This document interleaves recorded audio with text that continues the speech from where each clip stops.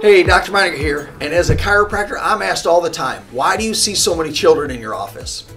And in order to answer that question, you need to fully understand how our spines get misaligned, or what we call subluxated. And most people know that you can misalign your spine with the big impacts like motor vehicle accidents and sports injuries. But did you know that you can misalign your spine the day you're born? Now I want you to think about that for a moment. The day you're born, if there's somebody there to assist in the delivery, they grab a hold of the head and neck and they pull and twist to get one shoulder to come out at a time. And this can easily misalign the spine of a newborn. Now you can misalign your spine with the falls that you have while you're learning to walk and ride bikes.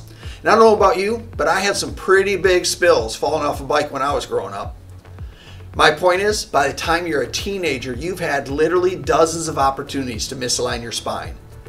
And of course, the misalignments or the subluxations, they cause nerve interference. And that nerve interference can lead to the classic reasons people go to a chiropractor, like neck pain and back pain and headaches. But infants and children, they often develop other health issues.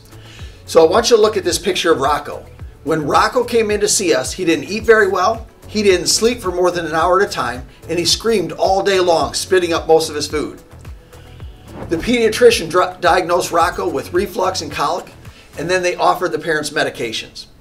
The parents didn't want to give Rocco medications, so they brought him in to see if we could help. The first thing I noticed was Rocco's posture. Does that look like the normal posture of a three week old? Absolutely not. He's completely in spasm. His back is arched, his head's looking up. But after a few adjustments, we corrected Rocco's subluxations, and today he's perfectly healthy. But what about parents that don't even know how you can get misaligned? Well, they need to hear Rocco's story. Because if their child develops subluxations early in life, they might end up with ear infections, asthma, or headaches.